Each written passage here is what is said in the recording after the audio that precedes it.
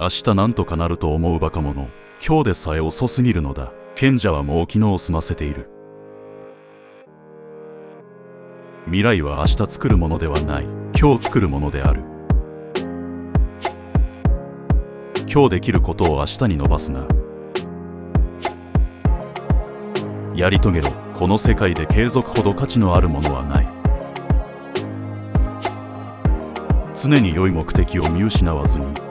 努力を続ける限り最後には必ず救われる。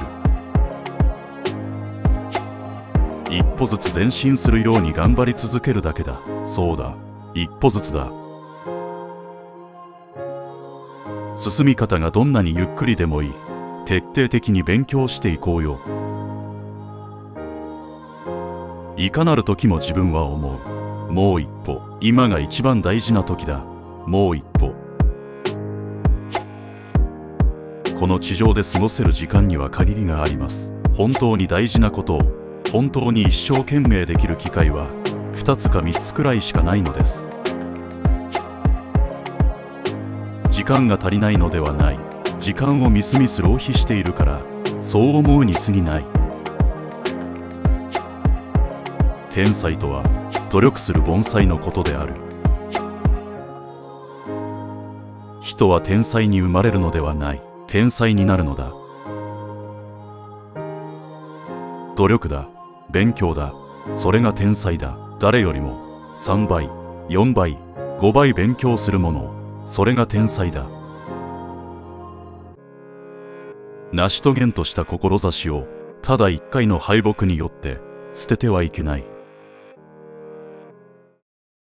失敗したからって何なのだ。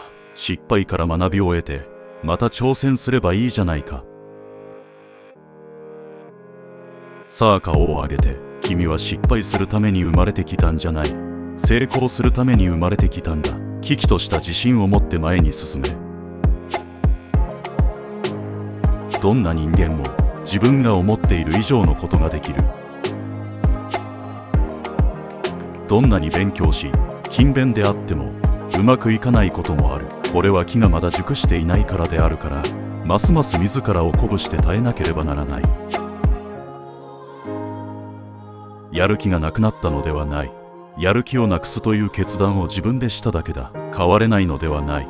変わらないという決断を自分でしているだけだ。惨めになるか。やる気を出すかだ。何をやらなければならないか。それはあなたが決めることだ。何事も成し遂げるまではいつも不可能に見える。